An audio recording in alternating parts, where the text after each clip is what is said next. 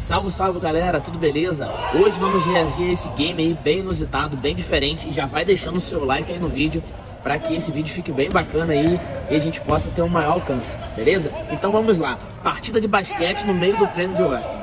Imagino eu, não deve ser mais uma dessas invenções que surgem por aí, porque cada dia que passa novos esportes vêm surgindo. Luta de travesseiro, power slap, Muay Thai em dupla, dois caras dentro de uma camisa e agora isso aí, o wrestling com basquete. Creio eu que foi uma resenha pós-treino ali que a galera inventou essa brincadeira. Mas se fosse para dar um nome para esse esporte, que nome você daria?